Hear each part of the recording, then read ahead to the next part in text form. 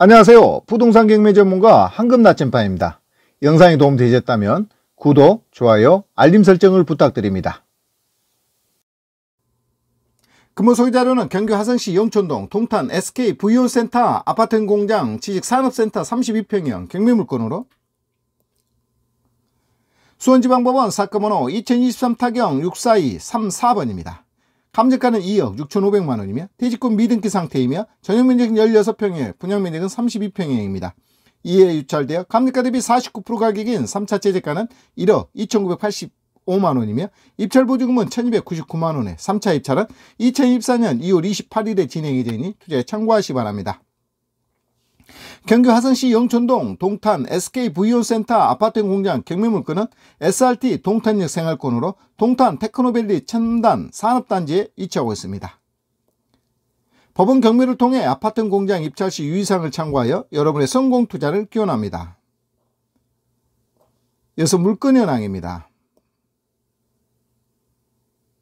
동탄 지식산업센터 경매로 진행 중인 화성시 영촌동 동탄 SK 부이온센터 아파트형 공장 매물은 지, 지하 1층으로 대지권 미등기 상태이며 전용 면적 16평형에 분양 면적은 32평형입니다.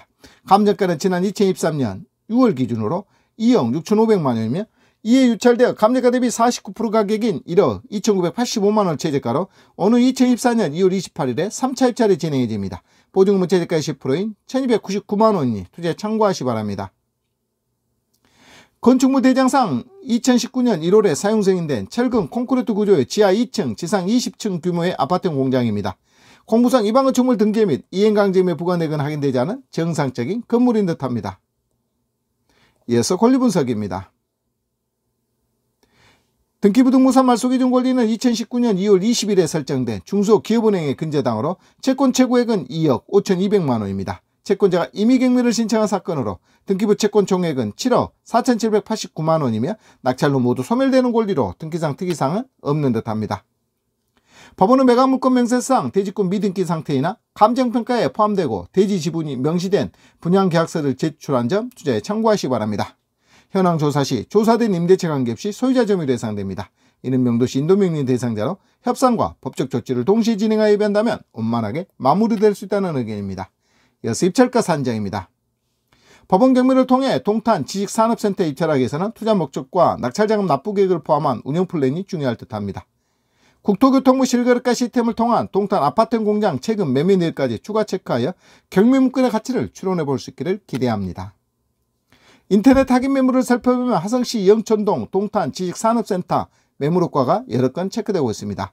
이를 참고하여 현장 방문 후 시세 및 수급표나 그리고 동탄 아파트형 공장 시장 분위기까지 잘 살펴서 투자 목적에 부합하는 합리적인 입찰가 산정으로 성공 투자를 기원합니다.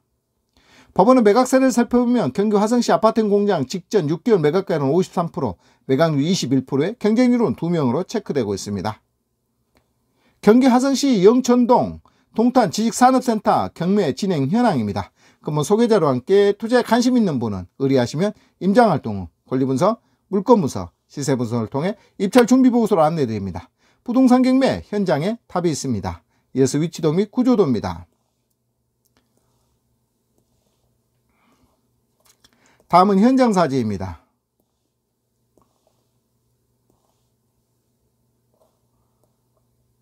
근본 소개 자료는 법원의 매각물건 명세서 및 인터넷 경매정보 사이트 자료를 참고하여 부동산 경매 전문가 황금나치판의 개인 의견을 면책 조건으로 안내드렸습니다. 투자에 대한 최종 책임은 투자자 본인에게 있으므로 투자 시 유의하시기 바랍니다. 근본 경매 사건의 자세한 내용은 유튜브 화면 아래 더보기 버튼을 클릭하여 세부 자료를 참고하시기 바랍니다. 경매 진행 사항 및 낙찰 결과와 유찰, 변경 내용 등은 댓글을 통해 계속 안내해 드리겠습니다. 여러분의 성공 투자를 기원합니다. 지금까지 경기 화성시 영촌동 동탄 SK 부이온센터 아파트 공장 지식산업센터 32평형 경매 물건을 부동산 경매 전문가 황금나치판에 소개드렸습니다. 영상이 도움되셨다면 구독, 좋아요, 알림 설정 부탁드립니다. 감사합니다.